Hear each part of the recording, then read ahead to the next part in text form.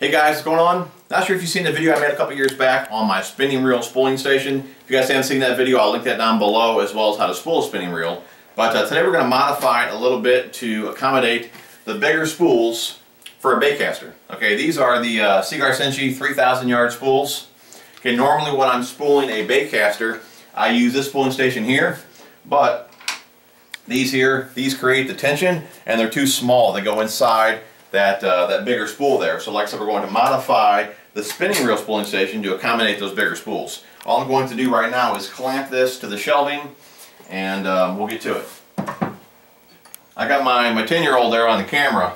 Let me know how he's doing. If he's doing pretty good, maybe I'll hire him for the summer. What do you think, Ben? Yep. But if you make everybody dizzy, most likely you won't get the job. I'm trying not to make people You're doing busy. good, bud. You're doing good. Now, like I said, this was for spinning reels. Okay, spinning reels, you want it laying flat. I got it up on its side here for the baitcaster. Now, the first thing I did, now I'm only making this video in case you guys made this spooling station. I'm just letting you guys know how you can modify it for a baitcaster. For the baitcaster, you want it on the side so the line can come off the top of the spool, okay?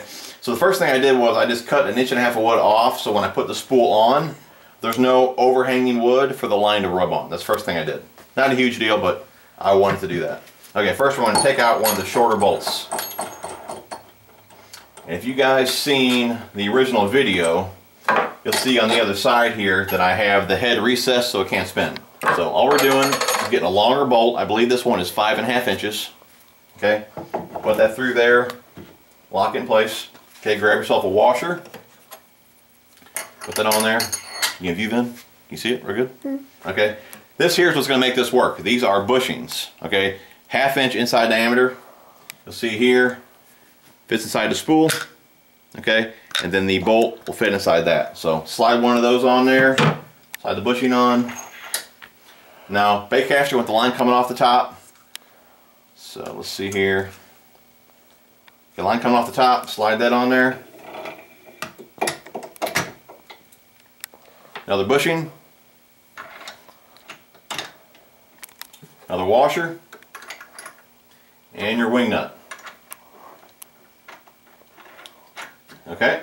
Now, you can adjust the tension with the wing nut. Obviously, the looser it is, the freer the spool can spin.